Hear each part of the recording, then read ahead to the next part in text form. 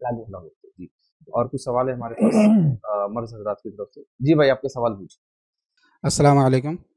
شیخ میرا سوال ہے کہ اگر کوئی عورت اور اس کا شوہر دونوں کا سفر حج پہ جانے کا ارادہ ہو اور شوہر کا انتقال ہو جائے تو کیا اس کی جو وائف ہے وہ جو بیوہ ہے وہ حج کا سفر کر سکتی ہے کیا؟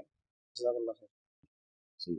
پھر اور سوال وہی ہے کہ گھر سے جانے کا معاملہ بٹ یہاں پر کنڈیشن یہ ہے کہ شوہر کے انتقال سے پہلے ان کا ارادہ تھا کہ حج کے لیے جانا ہے، لیکن شوہر کا انتقال ہو گیا، تو کیا وہ حج کے لیے جا سکتی ہے دیکھیے، اس معاملے میں یہ بہتر ہوگا کہ ہم یہ مسئلے کو کسی مفتی یا فقہ کے حوالے کر دیں۔ وجہ کیا ہے؟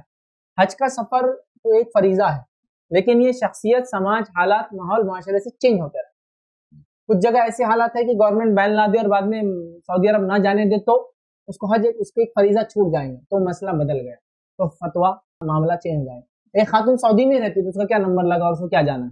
وہ تو کبھی بھی جا سکتا سمجھ رہا مطلب اسی ملک میں تو اس کے لیے تو کوئی ٹریولنگ نہیں ہے۔ یا جی سی سی میں رہتی ہے، گلف کنٹریز میں رہتی ہے۔